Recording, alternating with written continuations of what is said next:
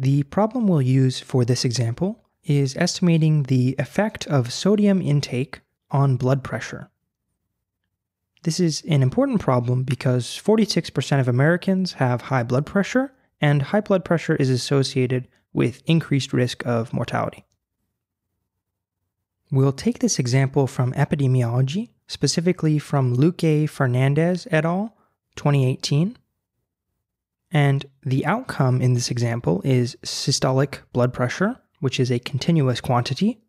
The treatment is sodium intake, which is also a continuous quantity, and it'll be measured in milligrams. We will binarize this quantity by making it 1 if it's above 3.5 milligrams and 0 if it's below 3.5 milligrams. This binarization isn't important for this example, as we'll see. Even if we keep it as continuous, we'll still get the same answer, but we do it because the adjustment formula that we'll be using that we showed you is for binary treatments, and just to keep things simple, we'll use that for now. The covariates in this example are two. The first is age, and the second is the amount of protein excreted in urine, which happens to be relevant for this problem. And this example from this paper is a simulation, so we know the true ATE is 1.05 because we have access to the code for the simulation. In fact, we have code in the book, so if you go to the associated reading for this part of the course, you'll see a link to a GitHub repo that gives you code for all of this. Now that we've specified all the details of this problem, let's actually get to estimation of the ATE. The true ATE is 1.05. First, we have to identify the average treatment effect by using the adjustment formula to turn it into a statistical estimand. So the average treatment effect is a causal estimand, we turn it into a statistical estimand. Now we actually need to go through the process of estimation, the novel part of this part of the lecture. The first thing we do is we take the outer expectation in the adjustment formula, the right hand side of the above equation, and we replace it with an empirical mean over x. So we replace an expectation over x with an empirical mean over x. Then we model these conditional expectations. In this example, we'll use linear regression, which turns out to work well because the simulated data is actually linear. We can actually use any model that is minimizing the mean squared error, where it's the mean squared error of the prediction of y given treatment, and x as inputs. When we take an empirical mean over x, so over our data, and we fit a model to our data, we can get an actual estimate. And that specific estimate we get in this case is 0.85. In contrast, the naive estimate that we would get if we were to just fit a model for y given t, so just regressing y on t, and then subtracting those two modeled conditional expectations, if we were to do that naive approach, we would get an estimate of 5.33. So recall that the true ATE is 1.05.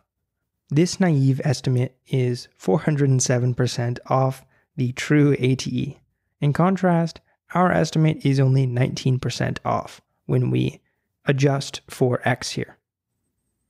We used the adjustment formula on the previous slide to get an estimate of the ATE, but it turns out in this specific setting, because our data are generated via a linear function, we actually can just use the coefficient in front of t in the linear regression.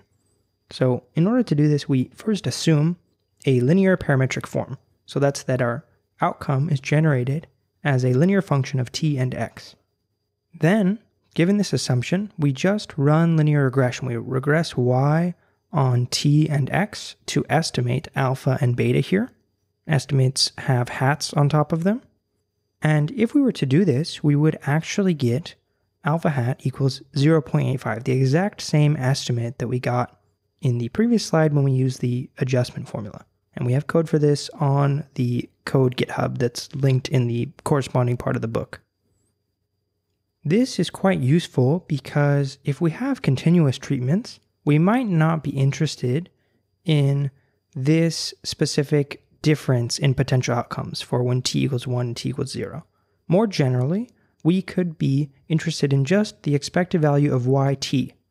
So this is a function of t.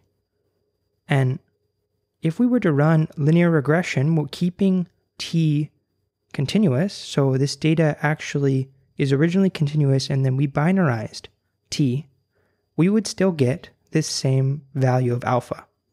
And you can run this for yourself and see that when you keep t continuous, you get the exact same estimate. So this approach is extremely simple. All we have to do is fit a linear regression and then take the coefficient in front of t as our estimate. So that's great.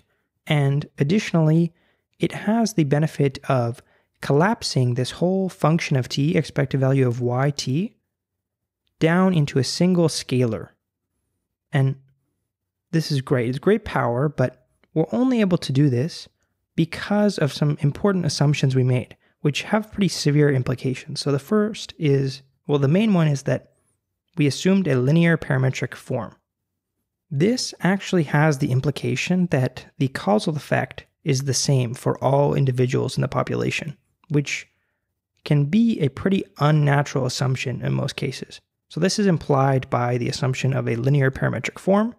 And to show you this, just consider that yit is equal to alpha t plus beta xi. That's just taking that assumed parametric form and then writing out the unit level potential outcome that that implies.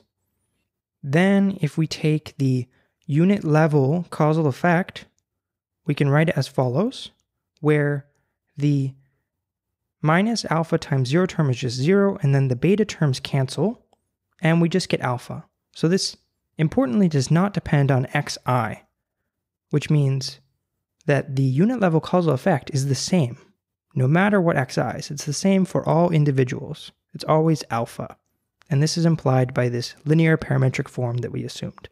So in general, it's not a good idea to use just the coefficient of linear regression, and some authors have more extended critiques of this. Morgan and Winship is the book that we link to in our course reading, and I encourage you to check this out.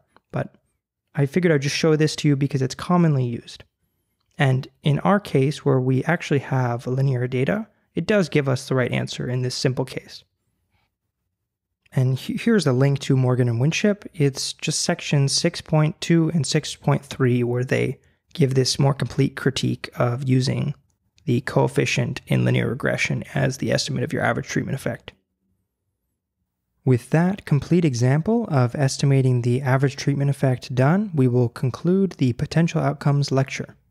If you want to get notifications for when next week's lecture comes out, then go ahead and subscribe and click the bell below. Also, go ahead and leave any questions you have about the lecture in the comments below, and I'll make sure to get to them as soon as I can. Thank you for watching.